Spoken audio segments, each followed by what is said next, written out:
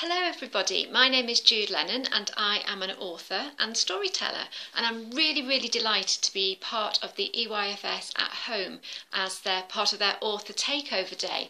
So today I'm going to be doing lots of um, activities throughout the day, all linked around one of my books. But before I tell you a bit more about that, I thought I should introduce you to some of my friends. Okay, so as I said, I'm a storyteller and an author, and my storytelling mascot is.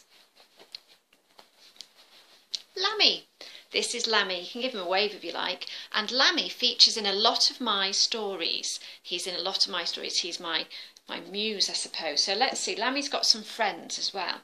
So we've got Flossie, and we've got Alfie. Oh no, this is Cordero, and Lily, and we've also got Alfie. And these are all part of our storytelling crew, and they do appear in five of my books altogether. So you might find out a little bit more about them at the end of the day. So Lamby, I'm going to ask you to move if that's okay, because we now need to meet the characters from the book I'm reading today.